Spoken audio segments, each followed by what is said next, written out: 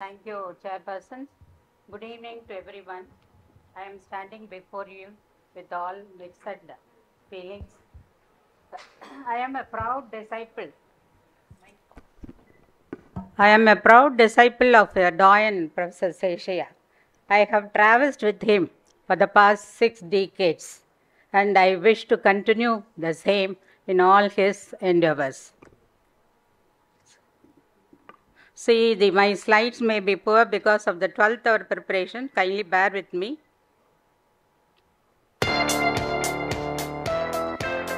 My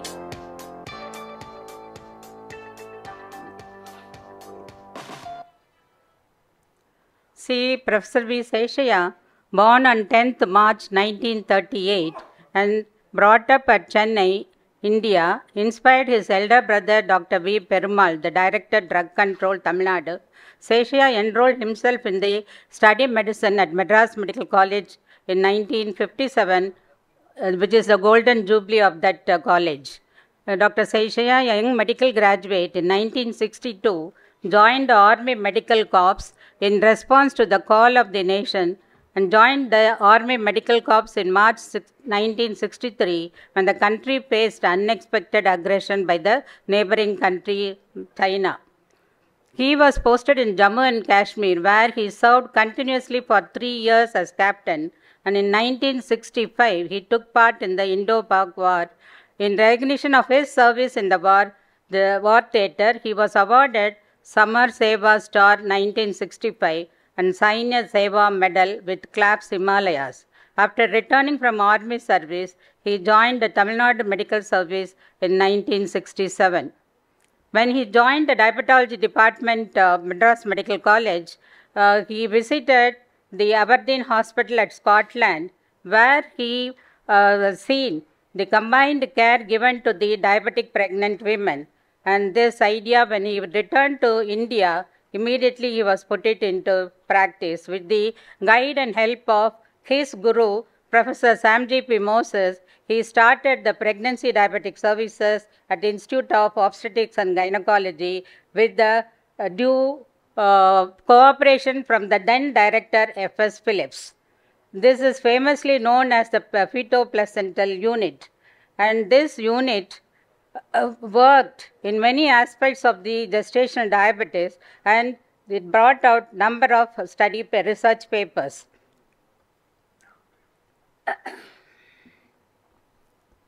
So he, uh, he was uh, now I'll read out his honors whatever he has got. He was honored with a number of international and national awards in recognition of academic, clinical, and research contributions and Distinguished Member Award of the Association of Physicians of India, Master Teacher Award of Indian College of Physicians, Doctor of Science, and Fellowship of Royal College of Physicians, Glasgow, Lifetime Achievement Award by Tamil Nadu Dr. MGR Medical University, Chennai, International Diabetic Federation honored uh, him with Lifetime Achievement Award, in IDF 2017 conference, distinguished professor of Tamil Nadu Dr. MGR Medical University for his life and founder patron Dr. Seshiah Balaji Diabetic Care Center Research Institute in Chennai and uh, top 10 summing up he has introduced a single test procedure to diagnose gestational diabetes mellitus, which has been widely used all over India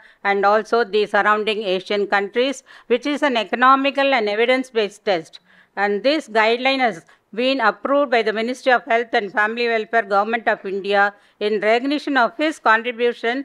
His 10th birthday, 10th March, has been declared as the National Gestational Diabetes Awareness Day. Sir deserves a big clap of hand.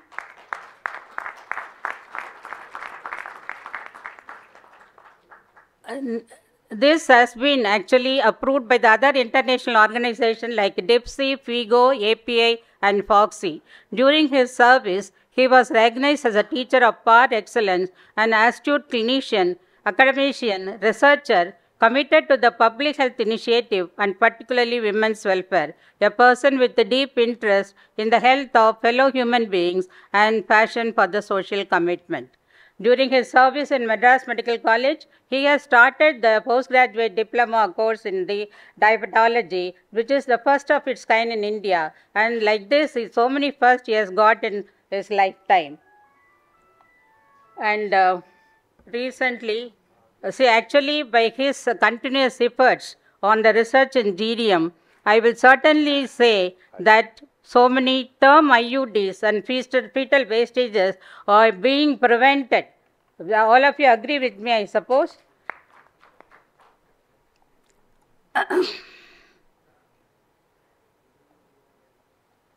uh, if he takes a permission, he will not rest till it is successfully finished. That is the nature of Professor Seshiah, my god brother. The proud moment of Padma Shri Award uh, picture is coming later, I think. Ah, yes, this is the proud moment where he was getting awarded the Padma Shri Award. And when he received the award, we all felt that we are receiving the Padma Shri Award. This is the picture.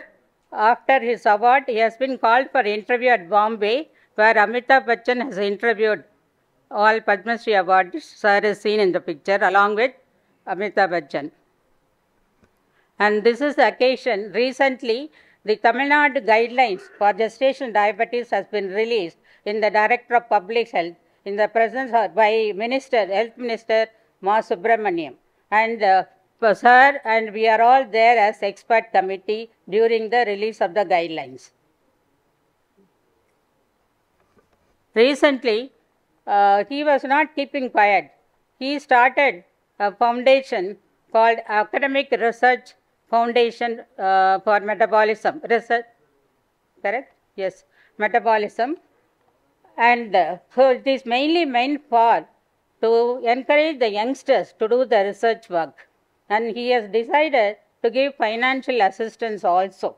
That is, this foundation is being created by the uh, disciples of uh, Seshiah and being guided by him. So, actually, I take this opportunity to uh, address you people to become member of this foundation. You can become a member by paying 10,000 rupees or you can become a patron when you pay 1 lakh or you can become a donor with any amount. So that you know, we will continue the research work in diabetes and we can give because the money is the problem for the research work uh, actually for our postgraduates. So sir is generous enough and said we will give financial assistance to the research worker. Okay. So with a person of this nature uh, and I don't know how to describe. So I am so fortunate to be associated with him to be in this era of Professor V. Seshiah. Thank you very much. I have been greatly honored by uh, offering me to give the uh, Dr. Professor V. Seshiah's oration. Okay? Right. Next, in this oration talk, actually I want to sensitize the obstetricians and the diabetologists that what happens in the periconception period. So we were talking about the hyperglycemia and early pregnancy causing so many problems. So this problem starts with the oocyte development, with the fertilization and the development of the zygote. So my first half of the talk will be periconception and hyperglycemia.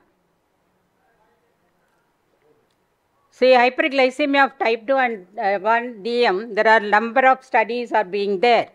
And whatever I am presenting is from the literature. So many studies, they have examined the effect of hyperglycemia on the early embryo also. Even when glycemic control is stable during the first weeks of pregnancy, there is a significant risk of perinatal complications including fetal abnormalities. So fertility complications could occur even prior to conception. So animal experiments, they have shown that embryos from a diabetic mice are growth retarded, high levels of apoptosis are there, decrease in glucose uptake, oocytes are smaller, they are slower to com complete the meiotic maturation and altered mitochondrial distribution is there. The effect extends not only to the oocyte, to the cumulus and to the granulosa cells surrounding the oocyte, where with increased apoptosis and decreased glucose uptake are seen. One of the primary mechanism is increased glucose metabolism involving hexosamine biosynthesis pathway through beta-O linked glycosylation. Altered beta-O glycosylation is associated with a number of disease states including cancer, inflammatory conditions and neurodegenerative degenerative diseases. It is also implicated as a primary mechanism behind the development of insulin resistance, pancreatic beta cell destruction in type 2 DM. Though the exact mechanism is not known, it is the altered beta O, uh, the glycoprotein B, uh, BHP. So what happens, we have talked about the animal experiment, what happens in the human beings in female reproduction the concentration of glucose in the follicular fluid is similar to that of plasma, in fact, slightly at a lower level. In IGT, pre-diabetes and obese patients and individuals with poor diet habits, they have increasing glucose levels in the follicular fluid. Maternal hyperglycemia is associated with poor consumption, difficulty in maintaining the pregnancy, and results in the delivery of the babies with health problems large for gestational age babies are increased risk of metabolic syndrome, which all of us know, and there is increased congenital anomalies, and the fetal anomaly doubles when the fasting blood glucose is more than 6 millimole and it, it goes to 30% when the fasting blood glucose is 14.3 millimole. Neural tube defect, skeletal cardiac malformations are 18 times more common in IDM. Hyperglycemic insult must occur for this anomalies to occur, it should occur within the first six weeks of fertilization to produce the increased likelihood of congenital anomalies. So this picture shows you that it can affect all the systems in our body. See at day 21 after the fertilization, facial problems comes like cleft palate, etc. And uh, after day 21 of fertilization, hypospadiasis, obstructive urinary uh, problem, and 28 gastrointestinal that is small left colon and neurological problems on day 21 and cardiovascular problem day 21 and multisystem defects uh, day 29 that is a caudal regression syndrome which is to be the 100% uh, specific for the hyperglycemia. The earlier the glycemic control can be achieved, less risk for the malformation and this has been proved by the experiments where they have transferred the embryo within 24 hours of fertilization from a diabetic mother to a normoglycemic mother, which resulted in the fetuses which are small, increased incidence of deficient neural tube closure, hydrocephaly, and limb defects. The same embryo after 96 hours from a diabetic mother, that is at the blastocyst stage formation, if it is transferred, it results in the risk of resorption and miscarriage. So the, the effect of hyperglycemia extends to the preconception period as well. In human studies, even if glycemic control is achieved within the first few weeks of pregnancy, there remains 35 times higher risk of spontaneous abortion and congenital malformation if hyperglycemia is there in the periconception period. Franke et al. has stated the optimal embryo development in, uh, is achieved using very low blood sugar concentration in animal experiments. To the extent that the mouse only 18 milligram blood sugar. And in buffaloes it is 5.6 millimole nearly 105 so the periconceptual environment has a major impact on the developmental competence of the oocytes embryo and fetal development Hyperglycemic conditions during this time are detrimental to the subsequent embryo and fetal health. There is increased evidence of the fuel signaling the hexosamine biosynthesis pathway in mediating the effects of hyperglycemia in the periconceptional period and on the reproductive consequences. There are supposed to be four uh, pathways for the glucose metabolism and in this the HBP pathway is very important and so the mechanism by which hyperglycemia compromises the fertility are becoming clearer and are providing possible therapeutic targets. People who are interested in biochemistry, please take up this and try to prove or disprove what it is. So, coming on to the preconceptional counseling in diabetes in pregnancy, this is the usual routine, everyone will be aware of it. I'll just rush through that. Overall societal burden is on the increase and uh, the type 1 and type 2 complicates 1 to 2 percent of all pregnancies. And in the diabetic pregnancies 13 to 21 percent of the all diabetes complicating pregnancies the remainder is gdm when uh, women with diabetes in pregnancy have high rate of complications for themselves and their babies and perinatal mortality is four times higher and congenital anomalies three times greater. In all the all of them the hyperglycemia is a primary cause for this.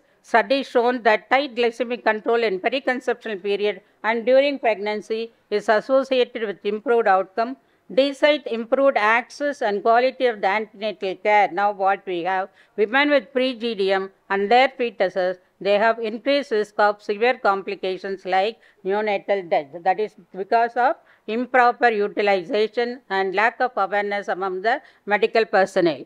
Many of the complications of diabetes can be prevented by optimizing the maternal hyperglycemia in the preconception period. So, glycemic control is one of the most important aspect of the pre-conceptional counseling. What are the things in the pre-conceptional counseling? One is a history where you take the age and duration of the disease and presence of ketoacidosis and precipitating causes, hypoglycemia.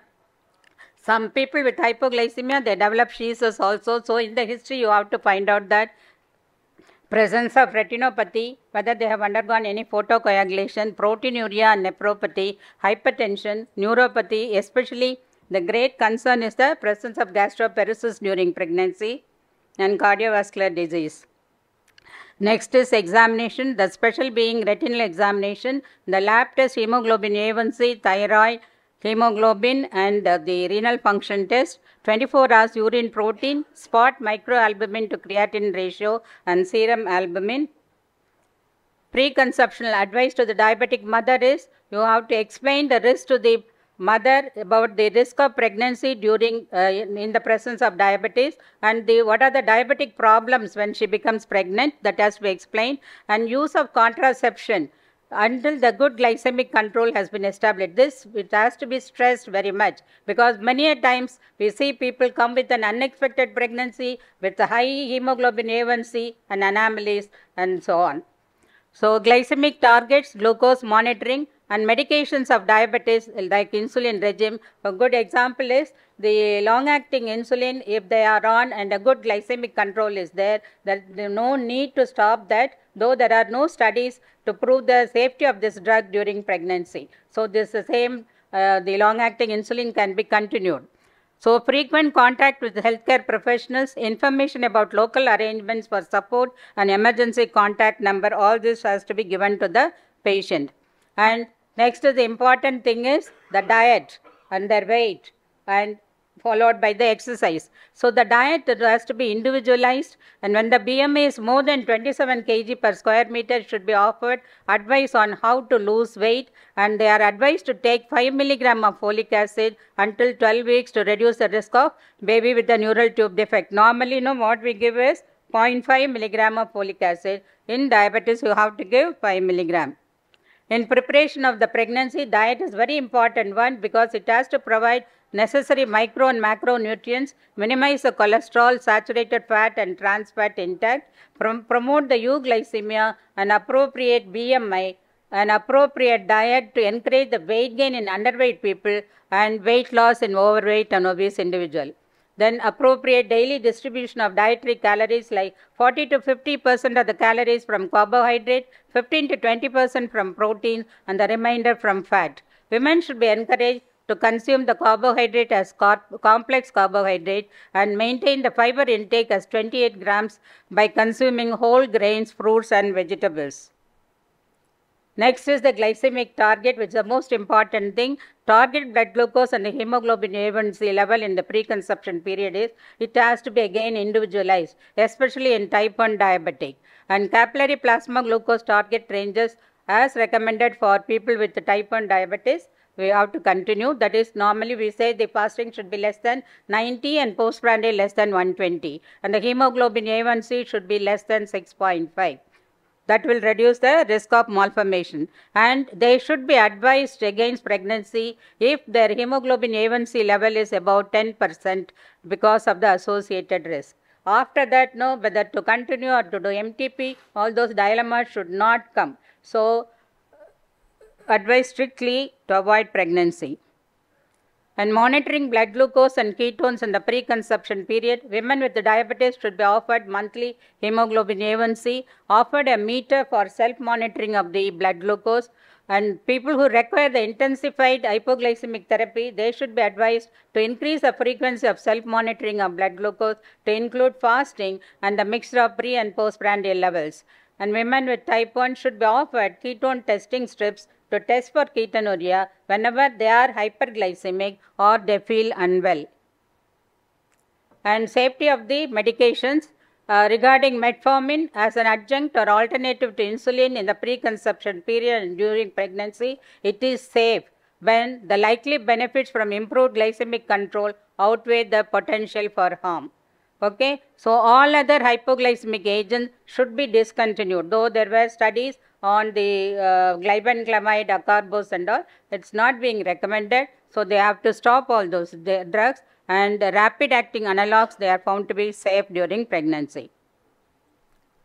Retinal assessment in the preconception period. When women seeking the preconceptional counseling, she should be offered a retinal assessment in the first visit itself if she did not have a ophthalmologic opinion six months before. And when the disease, that is a type 1 disease, if it is more than 20 years, uh, 100% of type 1 and 60% of the type 2, they will have some form of retinopathy.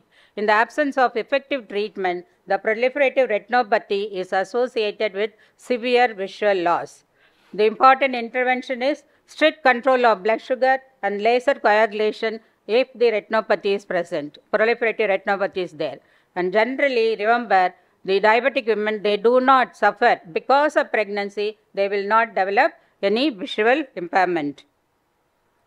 And coming on to the nephropathy and hypertension, diabetic nephropathy is a chronic disease. When there is a persistent albuminuria in the absence of infection, you call it as a diabetic nephropathy. It will cause a decrease in the creatinine clearance, development of hypertension, and ultimately the renal failure, end stage renal disease. So, the lifetime risk of this complication can be minimized and delayed with strict metabolic control and control of hypertension. Outside pregnancy, you know, we use uh, drugs like ACE and ARB blockers for the uh, to avoid to reduce the progression of the disease and they are contraindicated in pregnancy because of teratogenicity. Patients with nephropathy when they have increased chance of preeclampsia, small for gestational age babies and increased perinatal mortality. So they should the BP should be controlled with beta blockers. When they are planning for pregnancy, the BP should be controlled with beta blockers, calcium channel blockers, and prophylactic low dose aspirin. No, it did not improve the perinatal outcome in them. And renal assessment is done by measuring the albuminuria before discontinuing the contraception. If creatinine is abnormal, that is the GFR is less than 45 ml and urinary albumin creatinine ratio is greater than 30 milligram, referral to a nephrologist should be considered before discontinuing the contraception. Congenital anomalies, I think enough I have said. Uh, see the time of the anomalies, ovulation, fertilization, take it as a zero day. On the day three after fertilization, caudal regression, spina bifida. So within a week time, all the anomalies occur. So intensified glycemic control during preconception and first trimester of pregnancy is important. Various studies have shown that preconceptional care and strict glycemic control, that is CVG between 60 to 130 milligram and low hemoglobin A1C in the first trimester, trimester lowers the congenital anomaly to 1.4% versus 10.5% in the control. So achieving normoglycemia before and after conception reduces the rate of anomalies. Contraception. Diabetic women should plan their pregnancy in a good metabolic control to minimize the risk of risk for complications. All contraceptive methods available to the non-diabetic can be used. So the natural family planning and barrier methods of say, but the failure rate is high. Both copper and LNG IUCDs are equally safe and effective, and modern low dose combined pills have negligible effect on the glucose control and atherogenic lipid profile in diabetic women with good metabolic control. ACOG reserves the hormonal contraception for young diabetics less than 35 years without any complications.